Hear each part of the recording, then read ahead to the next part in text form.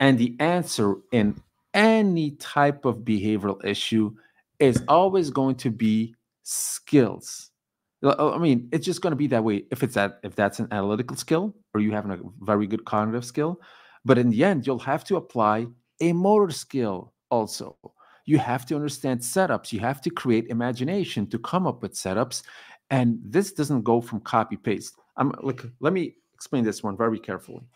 If you sit into a class and the class is called, I'm going to show you what you do with reactive behavior. Well, first, let me tell you there's a million situations, so you can't go over each and every scenario, right? So, what they will show you is dog behavior, is dog posture, is things that are actually pure cognitive uh, level. That means they're going to give you information that's in a book. It's going to give you information on how to see dogs, how to read dogs, body language, and so on.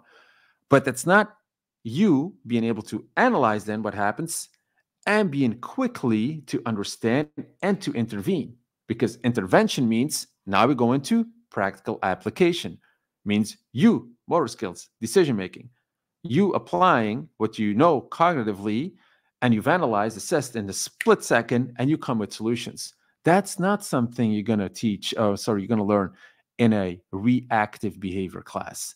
That is pure skill development. So you can't go do one without the other. So you have to put your feet on the ground and understand that if you want to master dogs, eh, but you're so one lopsided in development that you can understand dogs better than anyone, but you cannot do the things that need to be done fast, accurate, with leash skills, with finesse, with tools, and so on, how are you ever going to be a great dog trainer? Because now this this person then might be so smart, they could talk all day about dogs. And then when you see them actually try to create the solution or solve the problem hands on, it doesn't really look all that good now. You see? And that's why, for example, veterinarians, I still don't understand why the government always talks, refers to veterinarians when it comes to uh, behavior related problems. What do they know? They, they read a book, they studied it, maybe they got a master or PhD about dogs and behavior. That doesn't mean they can apply anything.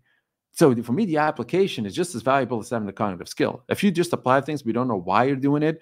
That's just luck. Then it's just action without any any contemplation on how it's going to turn out. So that just equally is is stupid, right?